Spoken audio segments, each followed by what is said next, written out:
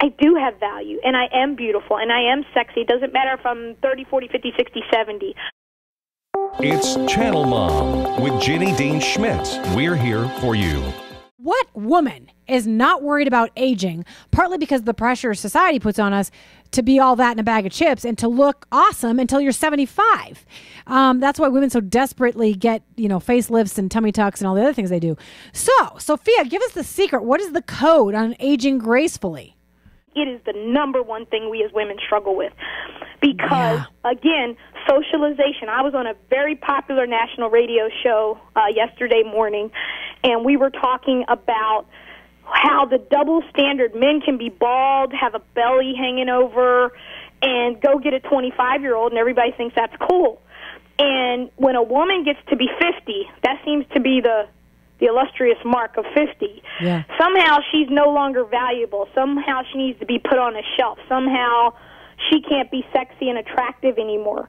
And I think again, particularly for married women and moms, and I'm just going by because I got a lot of friends in this category and who like I said live in my neighborhood and I talk to them and you can see the it's I don't want to use the word fear, but there is a fear in essence like somehow I'm not enough anymore. I've lost my youth and therefore I'm not beautiful anymore. Well, that's bogus, ladies. And the reality is I wouldn't want to go back to being 20 again for anything. Yeah, I hear and, that. And you know, I think when you get to a point when you know who you are and you know your value and you are comfortable with yourself, I think you're more beautiful and more radiant than ever. So what I'm calling on women is is stop looking for your validation outside of you.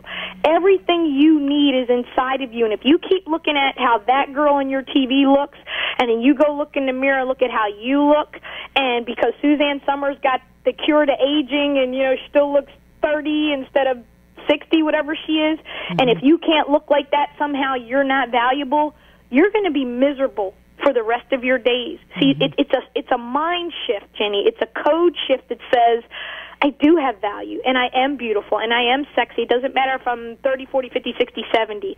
Well, and I like your frankness, and I like your encouragement to live, uh, to age gracefully from the inside out. You know, I was thinking on my way down the hill. I live up at nine thousand feet in the mountains. I thought, you know what? It's all just a decision, and we've certainly heard that. I think there's a Yep. Chuck Swindoll phrase about it's you know ninety percent attitude and ten percent your circumstances or whatever. It, it does come down. I was I was I was coming down the hill. I thought, you know, I could feel bad about this, or I could feel bad about that, or all of us who are fifty and I'm fifty could feel bad about the fact that society says we're no longer you know beautiful and sexy when we're fifty. But just throw that all aside. Make a decision. I'm going to live well. I'm going to live with joy. I'm going to live to in, in, to be a giver. I'm going to live my purpose that God's given me. I'm going to choose today to enjoy the leaves and the air and my breath and life. You know, you can make that decision. Yeah. yes.